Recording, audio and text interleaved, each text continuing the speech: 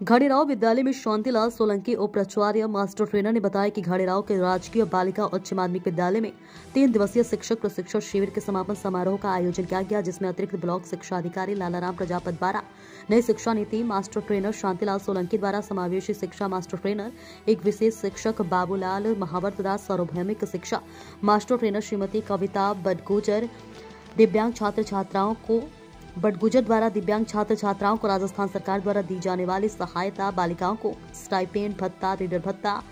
Scots भत्ता की जानकारी दी गई। मुकेश कुमार, सीआई साहब देसोरी द्वारा साइबर क्राइम मुक्त समाज का निर्माण